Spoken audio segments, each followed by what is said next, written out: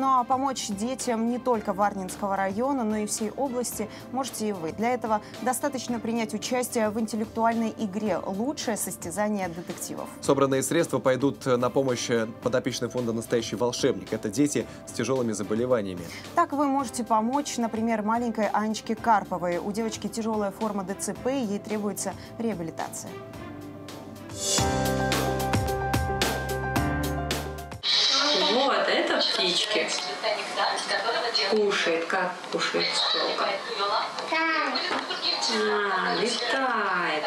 Двухгодовалая Анечка Карпова только начинает активно познавать окружающий мир. Ко всему новому она испытывает неподдельный интерес, особенно любит смотреть мультики и играть с мамой в прятки. Воображать, как девочка любит.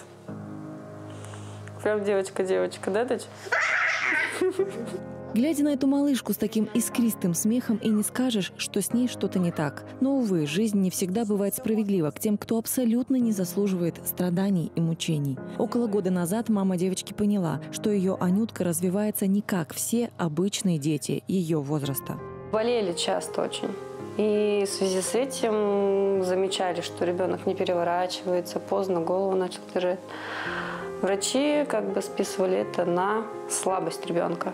Году эта кроха с золотыми кудряшками не умела ползать, ходить, просто стоять, даже сидела с трудом. Тогда мама обратилась за консультацией к неврологам, но женщина даже представить не могла, насколько шокирующим будет вердикт врачей. ДЦП с задержкой развития. С тех пор жизнь мамы и малышки изменилась в корне. Ежедневно они ходят в реабилитационный центр. Наталья старается сделать все, что в ее силах, ради того, чтобы у единственной дочери появились успехи в развитии. Не жалеет ни сил, ни времени, ни денег. Врачи уверяют, что у Ани есть все шансы на восстановление. Занятия в реабилитационном центре «Дети Индиго» уже дали хорошие результаты.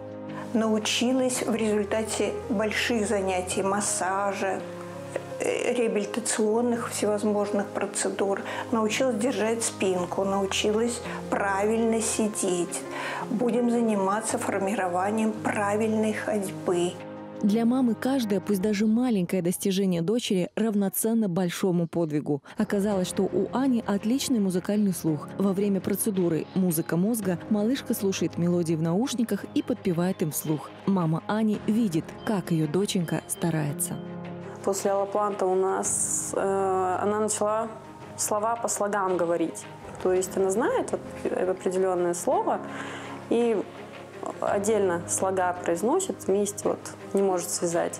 Сейчас к психологу начали ходить, чтобы связать все эти слога. Но пока малышка только в начале большого пути, с которого просто нельзя сворачивать, иначе приобретенные навыки снова утратятся. При этом только один курс реабилитации стоит около 50 тысяч рублей. Родители малышки сейчас исчерпали все свои возможности и просто не знают, как собрать такую сумму. Если вы готовы помочь маленькой принцессе, отправьте смс с текстом «Феникс» и суммой, которой вы готовы поделиться, на номер 900. Деньги спишутся с банковской карты Сбербанка. У этой золотоволосой крошки должен быть шанс на будущее, как у всех.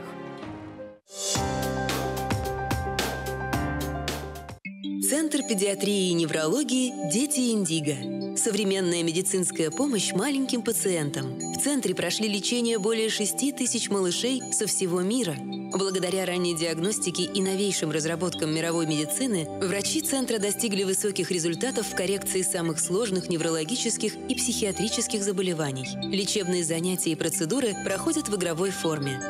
Врачам дети Индиго важно, чтобы их пациентам было комфортно.